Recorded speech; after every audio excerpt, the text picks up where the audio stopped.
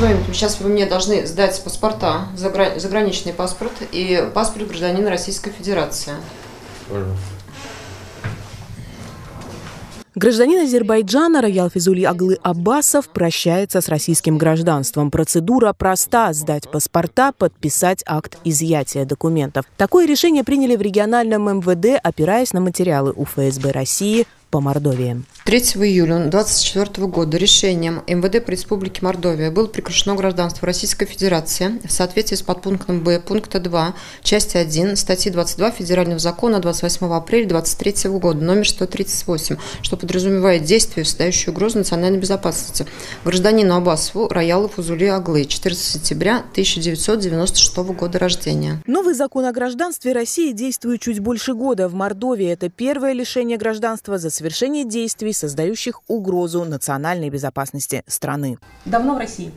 Ну, почти да. Иностранец, как гражданин России, отказался вставать на воинский учет. Это любительское видео сняли в марте 2024 года. Господина Абасова пригласили в военкомат для получения повестки о постановке на учет. В ведомство Роял Физулиаглы пришел с женой, которая и не скрывала свой агрессивный настрой. Официальный представитель. Пишется, и через два дня придет. Собирай-ка вещички, поедем за, кого- за кого-то там Почитайте, воевать. почитайте. Девушка, вы почитайте, почитайте.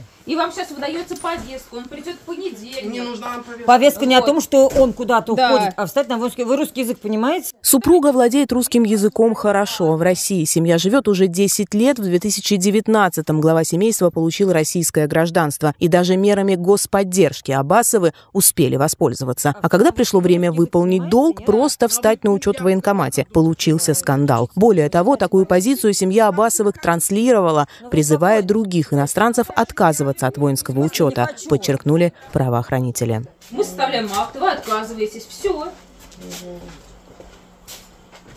Вам будет потом чревато, конечно. Чем? Что, депортируют его? Так и получилось, теперь Аббасов уже не гражданин России, а значит находится на территории страны нелегально и должен отправиться за ее пределы, например, в родной Азербайджан. Только 28-летний иностранец с этим решением не согласен. Планируете покидать Россию? Нет. Что будете делать? Будет, не знаю, отдавать в суд.